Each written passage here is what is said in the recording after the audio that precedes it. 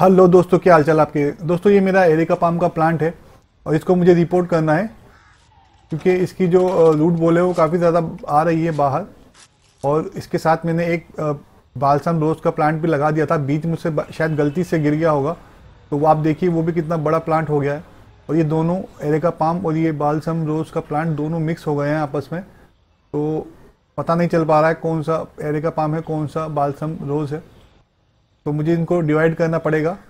तो ये वीडियो इसी पे है। तो चलिए शुरू करते हैं वीडियो को।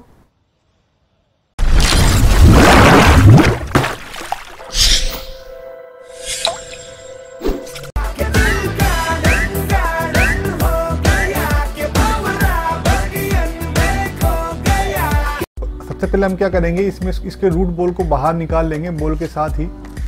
बाहर निकालने का बहुत ही इजी मेथड है। आप इसको धीरे धीरे टैप कीजिए। ये मिट्टी का पोट है तो थोड़ा सावधानी बरतनी पड़ेगी अदरवाइज़ ये टूट जाएगा पोट आपका। तो, तो मारिए हल्के हल्के से टैप कीजिए साइड से थोड़ा ज़मीन पर पटकिए। और इसको आगे से प्लांट का पकड़ के मजबूती से प्लांट को पकड़ के साइड से आप थोड़ा सा इसमें कुछ आता है लोहे के एंगल वगैरह या फिर आपके पास कोई छुरी चाकू हो उससे भी आप कर सकते हैं। क्योंकि इसकी जो रूट है वो पोर्ट की वॉल से एकदम जाके चिपक गई है तो जिसको हमको काटना पड़ेगा छुड़ाने के लिए।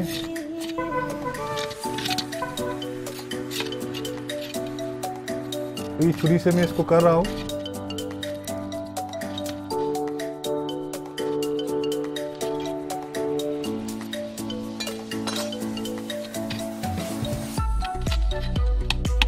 देखिए दोस्तों, जो सबसे ज़्यादा इम्पोर्टेंट चीज़ होती है जब आप प्लांट को आगे से पकड़े और उसको धीरे धीरे खींचे, ये सबसे मेन होता है।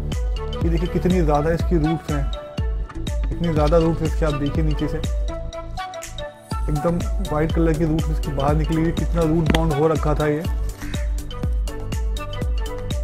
देखिए कितना रूट बाउंड हो रखा है। बड़ी बड़ी रूट्स इसकी निकली हुई है चारों तरफ़ से। दोस्तों, मुझे ये बालसम रोज़ का प्लांट को अलग करना है और अपने एरिका पाम को अलग करना है। तो मैं क्या करूँगा छुरी लेकर के इसको बीच से कट करके दो इसके पार्ट बना लूँगा। और एक को तो मैं वापस इसी पोर्ट में डालने वाला हूँ और जो दूसरा वाला है, उसको मैं अपने ग्रोइंग बैग में डालने वाला हूँ। प्लास्टिक ग्रोइंग बैग मेरा है। उसके ऊपर ऑलरेडी वीडियो मौजूद है, आप चाहे तो जाके देख सकते हैं। तो मैं मैं इसको प्लेस करने वाला हूँ। तो देखिए, ये मैंने छुरी ले ली है और इसको बिल्कुल बीच से दोनों में आ जाएगी। बिल्कुल दो भाग में इसके कर दूँगा।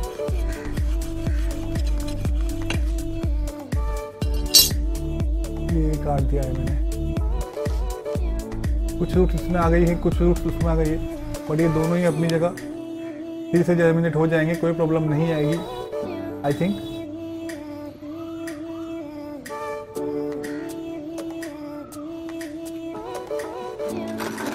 इसमें ज़्यादा रूट जो है वो एरेका पाम की है। बालसम की रूट थोड़ी कम है। मैं इस ग्रोइंग बैग में अपना बालसम प्लांट लगाने वाला हूँ। इसमें मिट्टी है कोकोपीट है, थोड़ा बहुत थोड़ा बहुत कोकोपीट है, और ज़्यादा करके इसमें मिट्टी ही है और रेत है। सेंट जो नदी की रेत होती है, वो है इसमें।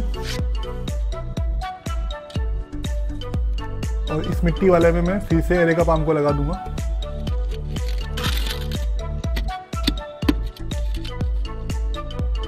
अच्छे से टेप करते जाइए, मिट्टी डालते वक्त ताकि बीच में गेप ना रह जाए।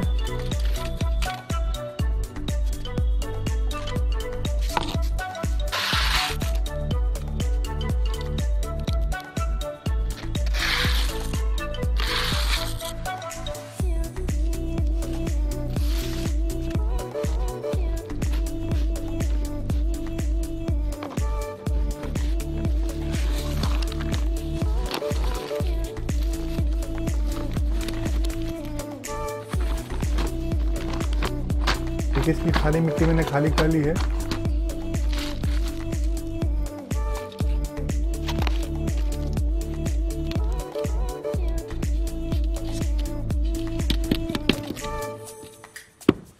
बस अब मुझे इसमें प्लांट को प्लेस करना है और उसको चारों तरफ़ से मिट्टी से भर देना है। थोड़ा ज़्यादा इसमें फिल हो गया था, थोड़ा निकाल लेता हूँ बाहर। देखिए स्पीड भी थोड़ा ज़्यादा है, थोड़ा सा और निकालना पड़ेगा। चलो ठीक है, चल जाएगा, कोई प्रॉब्लम नहीं। जो बचा हुआ गैप है, उसमें मुझे मिट्टी डाल देनी है।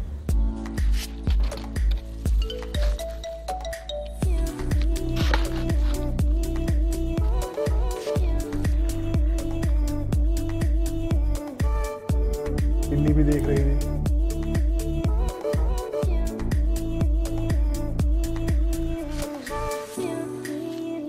दोस्तों, इसको हमें टेप करते रहना पड़ेगा अदरवाइज़ बीच में गैप रह जाएगा। मिट्टी के बीच में बिल्कुल भी गैप नहीं रहना चाहिए, नहीं तो आपका बाद में प्रॉब्लम करेगा आपको वो पोल एकदम टाइट मिट्टी मत रखिए। वरना रूट डेवलप होने में थोड़ी प्रॉब्लम होती है। मिट्टी एकदम ढीली रखिए आप पोर्ट में हमेशा। टाइट सॉइल कभी भी मत रखिएगा। थोड़ा सा भुरभुरी मिट्टी होनी चाहिए। क्योंकि इसको मैंने इसमें प्लेस कर दिया है एज इट इज़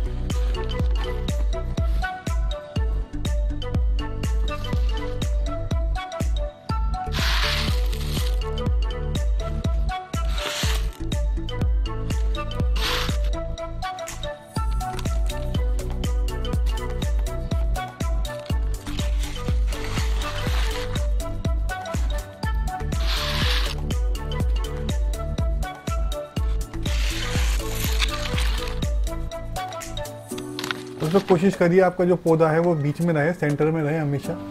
क्योंकि अगर वो सेंटर में रहेगा तो उसको चारों तरफ़ स्पेस मिलेगा अपना रूट डेवलप करने के लिए। अगर आप उसको साइड में रख देंगे तो उसको इतना स्पेस नहीं मिल पाएगा। तो इसीलिए मैंने वापस मिट्टी निकाली है इसको सेंटर में करने के लिए। ये देखिए, ये बिल्कुल सेंटर में है पोर्ट के सेंटर में।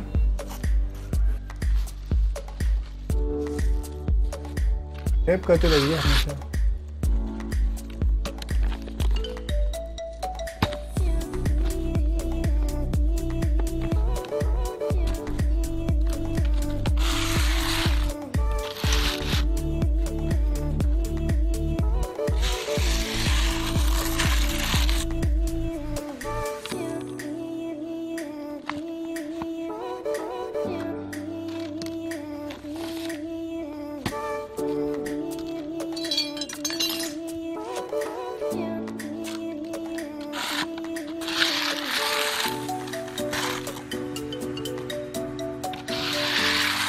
चलिए दोस्तों मेरा ये पोट भी बिल्कुल रेडी है।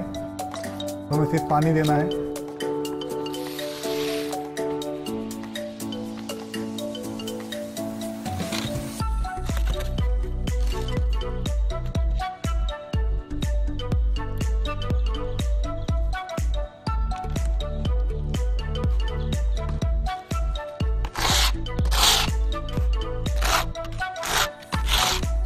दोस्तों, मैं सोइल बिल्कुल भी बर्बाद नहीं करता हूँ। इतनी कोशिश करता हूँ, मैं सबकी सब यूज़ में आ जाए फिर से। चलिए पानी दे देते हैं इसमें एक बार।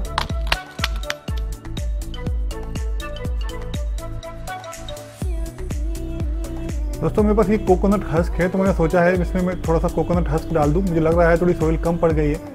तो ये मेरे पास हस्क है, मैं इसको हस्क डाल रहा हूँ ऊपर से। तो ये थोड़ा सा इसके लिए अच्छा काम करेगा।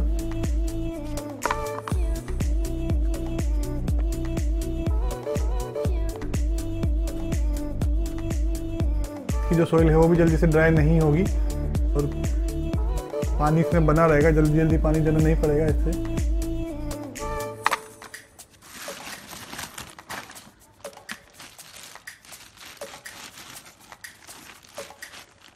और मेरी प्रॉब्लम ये है कि मेरे पास सोइल फिनिश हो गई है फ़िलहाल। इसमें मैंने थोड़ा सा ये अपना वर्मी कंपोस्ट डाला है।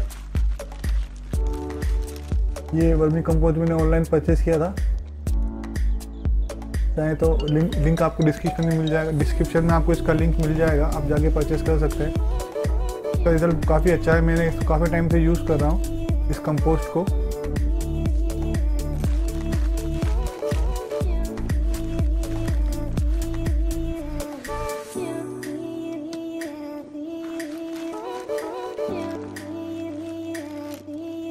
इस कंपोस्ट के ऊपर मेरी वीडियो भी मौजूद है, आप चाहे तो वीडियो भी देख सकते हैं। तो ऑनलाइन इसको परचेज भी कर सकते हैं। लिंक आपको डिस्क्रिप्शन में इसका मिल जाएगा।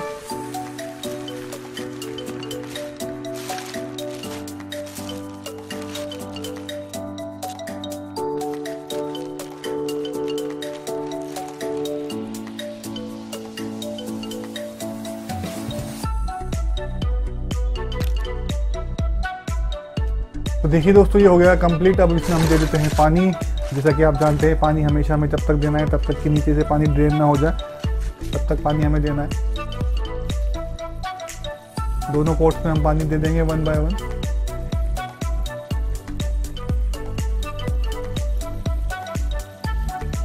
दोस्तों, मिट्टी के पोर्ट में तो आप चाहे जितना पानी दीजिए, कोई प्रॉब्लम नहीं है, लेकिन प्लास्टिक के जो पोर्ट्स होते हैं और ये जो प्लास्टिक ग्रोइंग बैग बैग है, इसमें आपको थोड़ा सा ध्यान रखना पड़ेगा पानी का।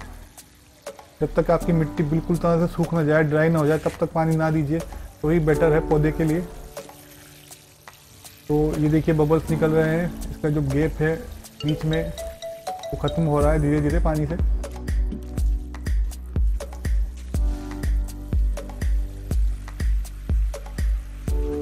तो शुक्रिया दोस्तों आपका वीडियो देखने के लिए। वीडियो पसंद आया तो लाइक कीजिए शेयर कीजिए और प्लीज़ चैनल को सब्सक्राइब ज़रूर कीजिए। मिलते हैं नेक्स्ट वीडियो में। Thank you so much take care नीचे दिए गए रेड बटन को दबाकर चैनल को सब्सक्राइब कीजिए और नोटिफिकेशन के लिए बेल आइकन को प्रेस कीजिए ताकि आपको आने वाली वीडियोस की अपडेट्स मिल सके।